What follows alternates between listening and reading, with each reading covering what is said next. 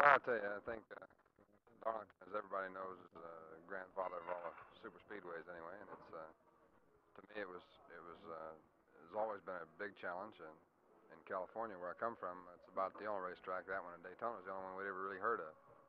And uh, I I really enjoy running down there. I think uh, I like running at Darlington as well as anybody else because of the challenge of it. I think, and uh, we've always managed to run real good there. And were leading the race last year when. Uh, uh, I guess make a little bit of a mistake and you hit something. Well, I did. I hit the wall, and so we finished back a ways. But I think uh, I think we're going to win one there one of these days, and I believe uh, next Sunday's going to be it. I hope.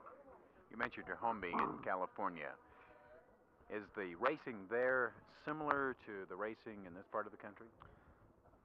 No, they don't really have any racing out there. What uh, what I always run was in a figure eight cars and claimer cars. Uh, claimer car being a car that someone from anywhere out of the stands or any place else can come down and buy for $199 a ounce. And uh, they run a little super modified stuff. And uh, but as far as stock cars, they just don't really have it out there yet. It's it's coming. There's, NASCAR's got a, a circuit out there that that uh, they're getting some pretty good cars.